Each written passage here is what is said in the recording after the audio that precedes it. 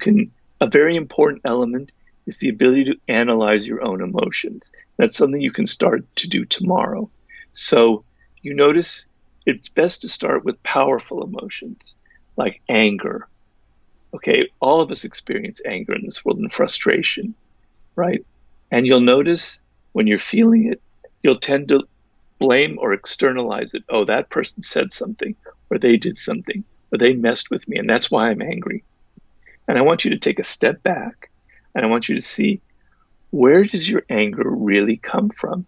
Does it come from what that person said or did? Or might it have started earlier in the day when somebody else different, like your spouse or your children, or someone else said something that got under your skin, and you're carrying that with you, and then somebody crosses your path and you get angry, but it's not them, it's something prior, or maybe it's something in your past, or maybe it's something in your childhood. So don't just react emotionally and just assume that your anger or your depression or your frustration is real